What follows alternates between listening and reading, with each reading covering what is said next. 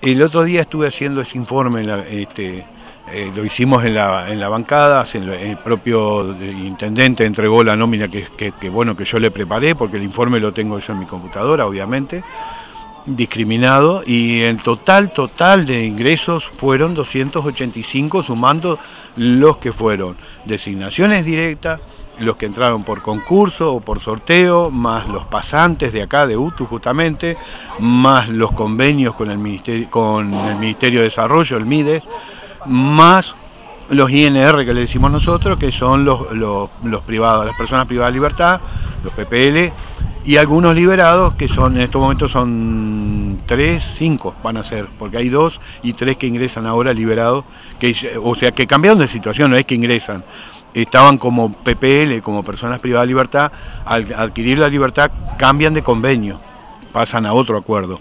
Es decir, eso mm, lo que hacen es continuar trabajando.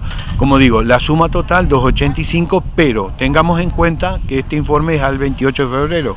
En estos días, el 9, el 8 y el 9, cesaron, eh, terminaron el contrato alrededor de 54 personas que eran los y que habían ganado su lugar por concurso, pero que ingresaron como Zafral para cubrir eh, los espacios de guardavida.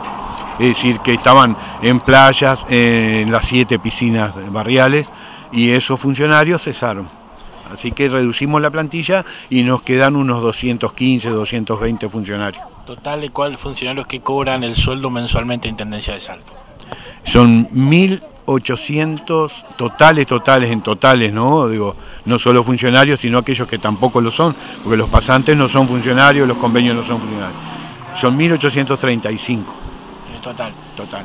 Pero hay una cosa bien importante.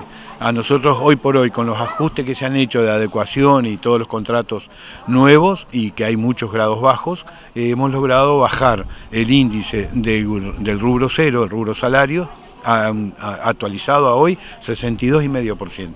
Cuando nosotros eh, agarramos la intendencia, cuando eh, comenzamos la administración, teníamos un 85% del rubro cero.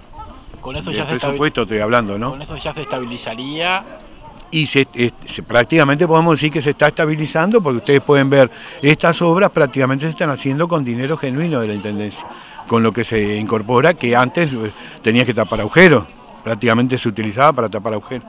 Sin embargo, y ustedes saben cuáles agujeros. Y estos agujeros también era importante taparlos, los de las calles.